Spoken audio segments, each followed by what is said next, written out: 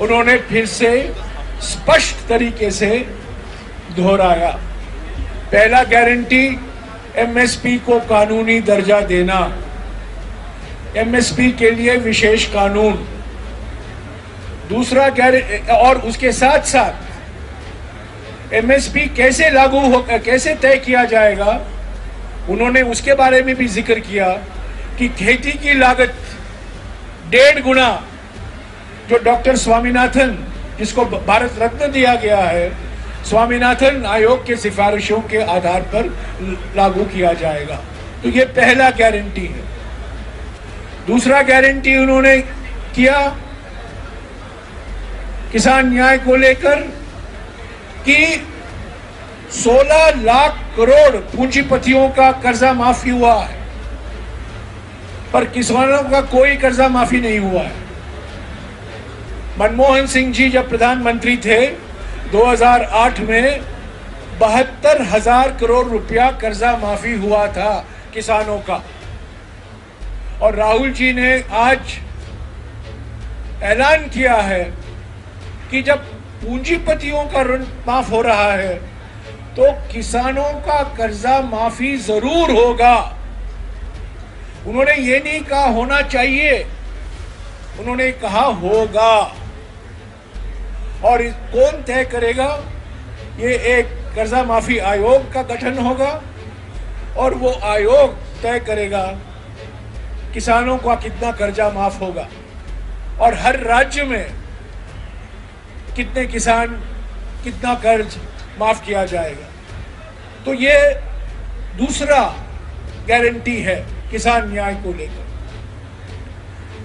तीसरा गारंटी जो उन्होंने दिया है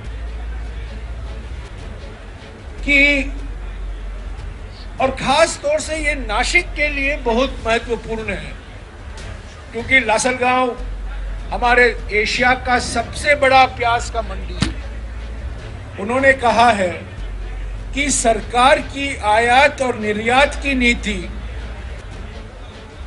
किसानों के हित को ध्यान में रखते ही किया जाएगा।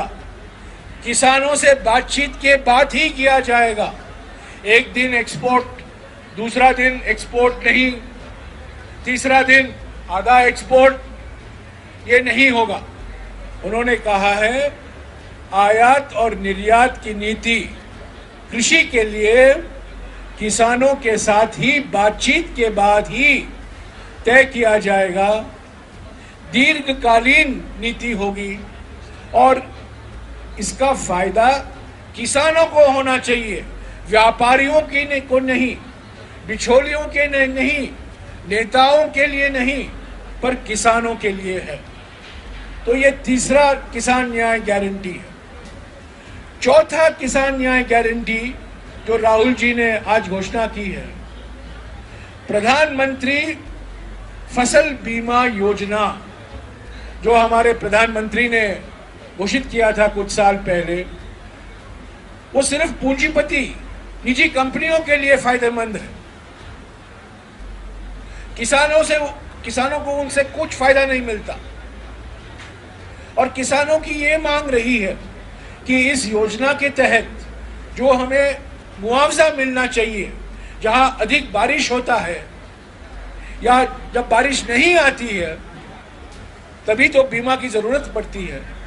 और अभी क्लाइमेट चेंज हो रहा है तो और भी महत्व रखता है।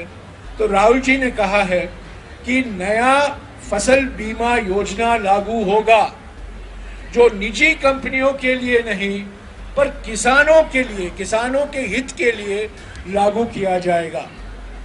और पांचवा और आखिरी गारंटी किसान न्याय के संदर्भ में राहुल जी ने कहा है, किसान को जीएसटी मुक्त होना ज़रूरी है। जो चीज़ किसान खरीदते हैं, खेती के लिए, उन पर जीएसटी लागू होता है। तो जीएसटी को जीएसटी कानून में संशोधन किया जाएगा ताकि कृषि संबंधित जो आइटम है, कृषि संबंध, जो कृषि में जाता है, जो खेती में उपयोग होता है उस पर जीएसटी लागू नहीं होगा ताकि उनके दाम किसानों के लिए घटे।